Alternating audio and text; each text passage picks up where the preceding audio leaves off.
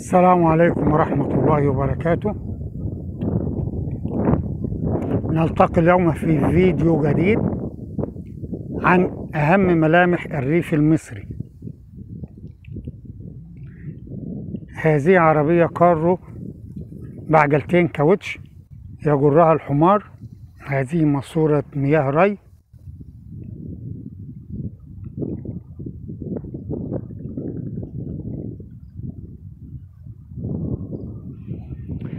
طبعا هذه ترعة المياه أو المياه العذبة التي يتم ري الأرض بها. هذه ما يطلق عليها التركيبة. ماكينة الري تقف هنا هنا وتنقل المياه للتركيبة التي تنقلها بدورها إلى الحقل. الحصان تم ربطه في ماسورة مياه الجوفية. هذه ماسورة مياه جوفية. قام المزارعون بدقها للحصول على المياه الجوفية في وقت عدم توفر مياه الري من الترع وهذه ماكينة الري كما نشاهد. وهذه الماسورة التي تنقل مياه الري. وهذه التركيبة.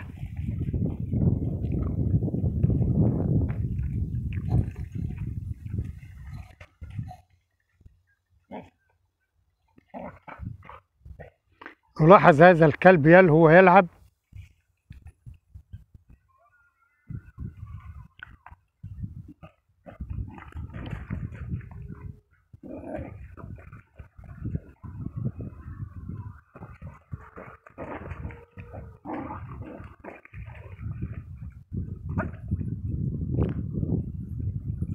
لا أعلم عما يبحث لكنه يلهو ويلعب بهذا الشكل.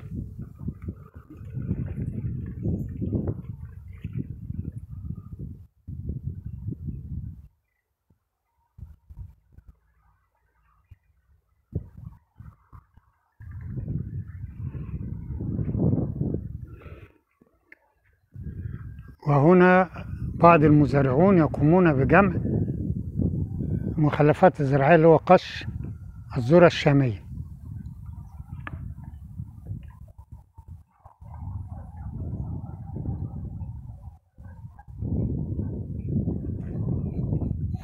مرة أخرى هذه ماكينة الري وهي ماكينة ذاتية الحركة. هذه طلمبة رفع المياه. وهذا هو الموتور الذي يقوم أو الماكينة التي تقوم بتشغيل طلمبة الري. يبقى أي ماكينة ري مكونة من جزئين. هذا الجزء هي الماكينة التي تدار بالوقود لكي تعمل على تشغيل طلمبة رفع المياه. هذه هي طلمبة رفع المياه التي تنقل المياه بدورها إلى الحقل. مرة أخرى هذا الكلب الذي يلعب ويلهو بهذه الشقاوة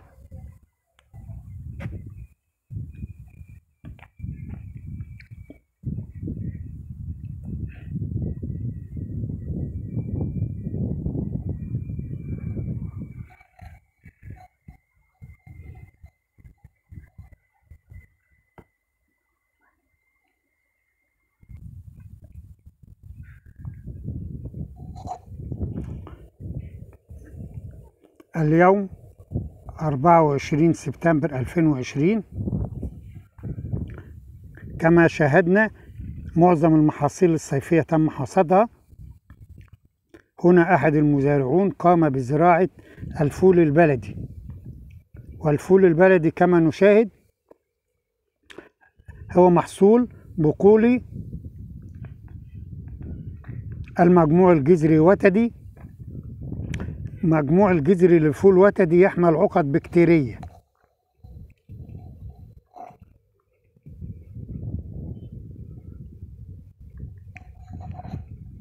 طبعا لم يمر على زراعة هذا النبات إلا أياما معدودات. أياما معدودات.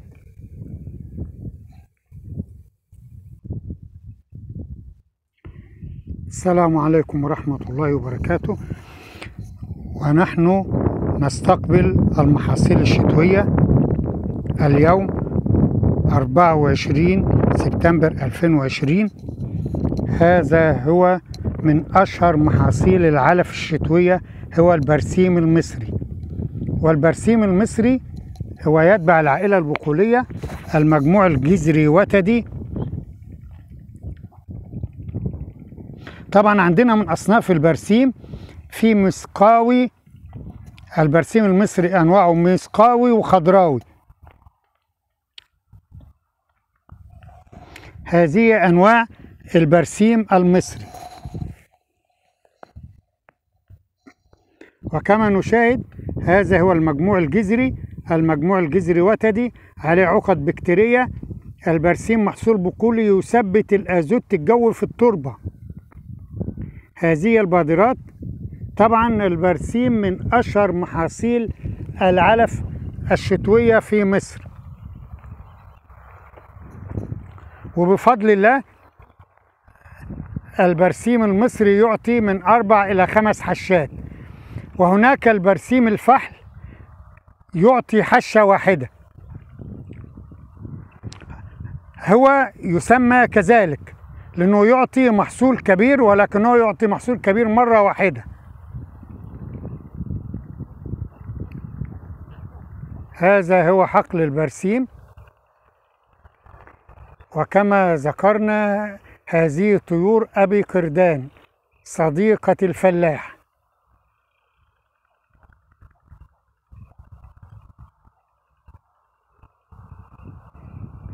وكما ذكرت من قبل هذه الطيور يأتي معها الخير دائما. إذا كان المزارع يقوم بري الأرض تتواجد. كان المزارع يقوم بحصاد المحصول تتواجد.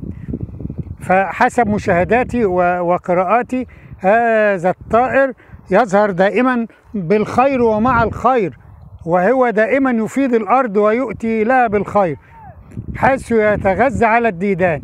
مرة أخرى هذه نباتات البرسيم وهذا هو المجموع الجذري الخاص به هو مجموع جذري وتدي وهذه بادرات البرسيم التي تتغذى عليها الحيوانات الم... يعني المنزلية. الحيوانات المزرعية إن كان أبقار أو جاموس أو حمير أو خيل جميع الحيوانات المزرعية.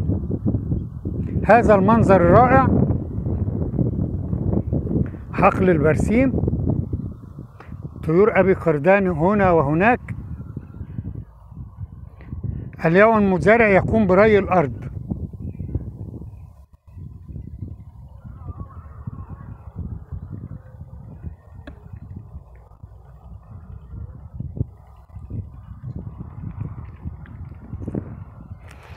هذا عن البرسيم أما هذه فهو هو نبات الفول البلدي أو بذرات الفول البلدي.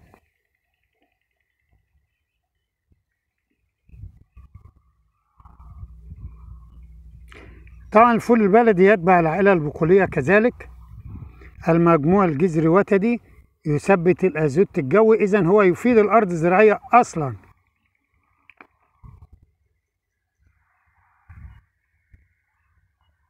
الفول البلدي يزرع على خطوط.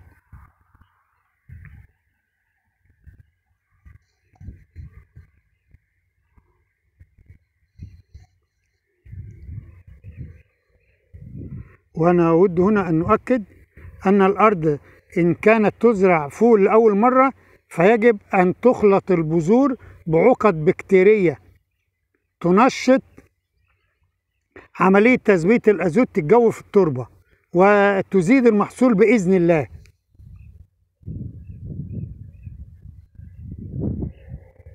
يعني تخلط البذور بالعقدين أو بكتيريا العقد الجذرية.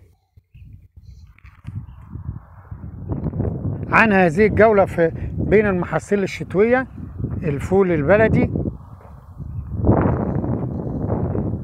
ومحصول البرسيم من أشهر محاصيل العلف في مصر.